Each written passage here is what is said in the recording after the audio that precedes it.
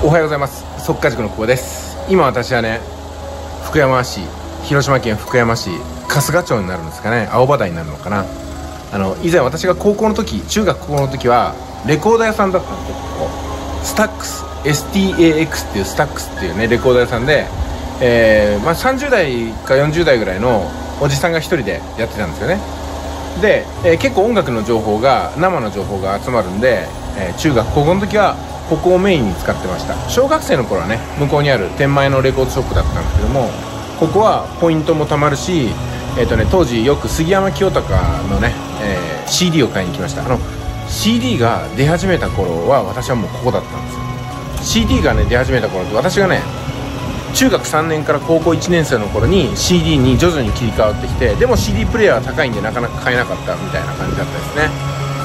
でここはね何回か泥棒も入ったみたいで新聞に載ったりしてましたね。高校で話題になったんですねそういうことが。でもあの非常にここはねあのバンドのやってる人もよく来たしプロのバンド情報ライブ情報もよく入ってきたんでもう憧れの竹下通りみたいなところでしたねここ一つが。でその後レコード屋さん私が知らない間に閉めて何でも面白ショップみたいなお店になったらしいんですけどもそうなった時は私一回も来てなくってね。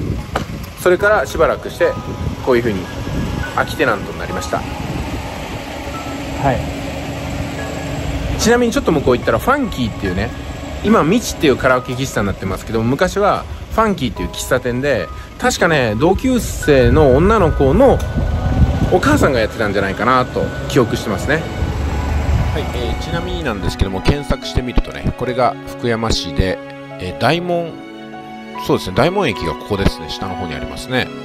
で線路があってハローズ伊勢ヶ丘があって青葉台っていうのがこの辺なんですよね。でちょっと近寄ってみますね。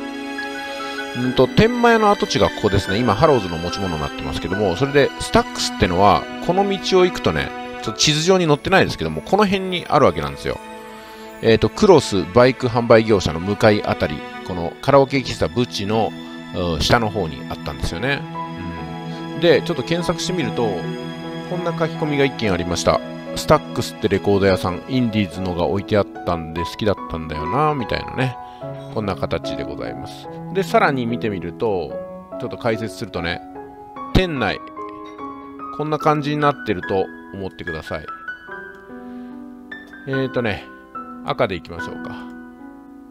ここ入り口ですよね。自転車置き場がこういう風にあって、車ももちろん止めれるようになってます。で、入り口こう入るとですね、ここがなんかこう憩いの場所っていうかね、ここにメッセージボードがあったんですよ。ここにメッセージボードがあって、いろんな張り紙できて、これベンチです。椅子でね、3、4人が座れて、ここで雑誌を読んだりできるテーブルがあったってことですね。で、これ LP レコードがあの平台にあって、この棚にいろいろと CD とかがね、あったっていうことですね。ここにもあったかなと思います。で、これがカウンターで、おじさんが一人でやっていた。多分この辺バックルームだったんじゃないかな、在庫置き場っていう感じだったんじゃないかなと思いますよね。